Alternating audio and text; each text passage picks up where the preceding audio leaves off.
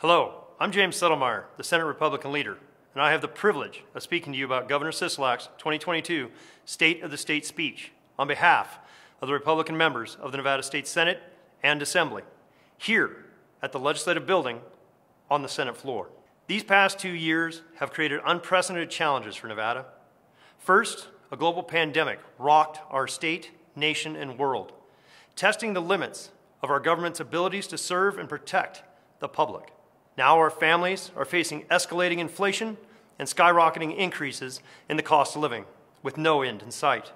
And our children have navigated the unthinkable as their schools shut down overnight and now face new challenges every day as staffing reaches critically low levels. In his speech, Governor Sisolak addressed many of these challenges, as well as outlined his agenda leading up to and following the November election. But that agenda is reliant on the $6.7 billion Nevada has received in pandemic relief assistance from the federal government. This is one shot money that has been used to balloon the size of our government and has contributed to the inflation and cost of housing increases, devastating to Nevada families. And it will be the bill that you, the residents of Nevada, will be on the hook for when the federal money is gone. The Republicans in the Senate and Assembly are committed to the unshakable beliefs of personal responsibility, limited government spending, and individual freedoms over government infringement. As we work to find solutions as Nevada navigates the pandemic and the many new economic challenges facing our state. The COVID pandemic has shown us the many strengths and weaknesses of our state as we have navigated the unprecedented times. Among the strengths of our state are our people our essential services were never disrupted, including our public health and public safety, as well as our groceries, pharmacies, and truck drivers who kept our stores stocked with those essential items and prescriptions throughout this pandemic. The pandemic also showed us the dangers of unrestricted emergency powers of the executive branch, which was more evident when businesses were closed with a stroke of a pen and mass mandates lingered on even when the science disagreed. The pandemic was also used as an excuse to limit public involvement in our very government by locking the doors of the legislative session and limiting your voices in public testimony. At the worst, our government faltered when our residents needed it most during the pandemic. When our state unemployment division collapsed under the extreme number of claims for unemployment benefits as a result of the government mandated business closures. The governor has so far relied on how Nevada will spend the $6.7 billion in pandemic relief assistance from the federal government. But spending money is not leadership. Leadership is about making our government more efficient and effective for the people.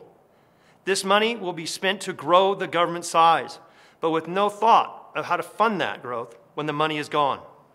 But those new programs will continue, and this undisciplined spending is a contributing factor to the inflation and skyrocketing cost of living that is harming so many Nevadans. Nevada's economy is at a breaking point. Inflation and the rising cost of living are squeezing our families beyond their means. The cost to live in Nevada is quickly approaching that of California, where only a few short years ago, people were fleeing so they could afford the American dream in Nevada. Rising costs are impacting everyone. Families are having to make hard decisions at the grocery store because the cost of every single item in their carts is higher this week than it was last week. Neighbors are making hard decisions about where to live when their leases are coming up, expecting their cost for housing to increase by hundreds of dollars a month. Businesses that valiantly survived when the government required them to close their doors due to COVID are now failing because they can't find employees who can afford to work for what they can pay. But it's just not the economy that's in trouble. We can no longer afford to ignore our educational system and expect the problems to get better on their own. For many students, school is the one place they rely on to be safe and secure. But when the pandemic hit, schools were practically closed overnight, disrupting the lives of our state's youngest residents.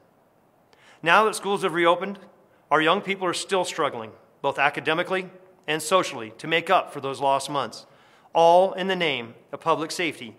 We have a situation where violence, suicide, bullying are all soaring as our students have lost faith in the system that is supposed to be there for them.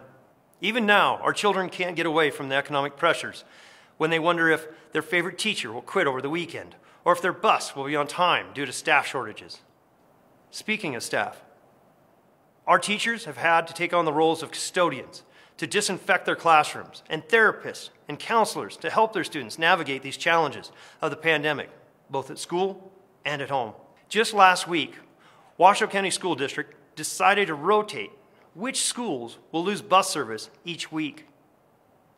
This year, the Clark County School District has had more than 6,000 school violence incidences. These are problems that are not being addressed.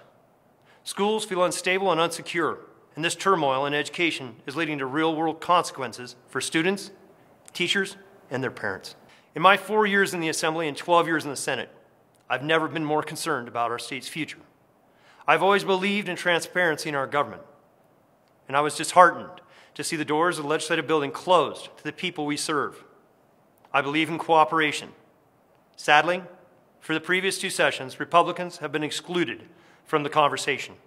With the Democrat majorities in both houses of the legislature, as well as the Democratic governor, there's been little interest in bipartisan solutions and little checks and balances.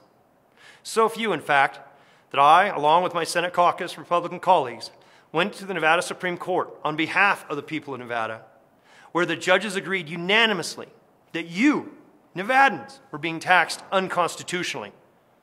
Rather than issue an apology, the Democrat legislative leaders looked for ways that they could keep the money that they unconstitutionally took. So now the question is at hand where do we go from here? The COVID pandemic has not been easy and it has highlighted many areas where our state can and needs to do better. Governor Sisolak may think that $6.7 billion from the federal government is enough to fix the state, and he would be wrong. What we need is to move Nevada forward, is to reinvest in our people and our Nevada way of life. The pandemic has created an excuse for our government to infringe on our individual freedoms and expand on government spending beyond the means that we can support as a state. Instead, we need to be trusting our citizens, especially when it comes to their own health and safety as the pandemic cases subside. And we need to always be responsible with the tax dollars that have been entrusted to us. I believe in Nevada, and Nevadans deserve better than partisan politics. I also believe that Nevada will come through this time stronger than before. But that will require you, Nevadans, to take part in our government your government. Send us a message in the November election. Contact your state representatives. Demand transparency in your government. Make your voices heard. May God bless you. God bless this nation. And may God bless the great state of Nevada. Thank you.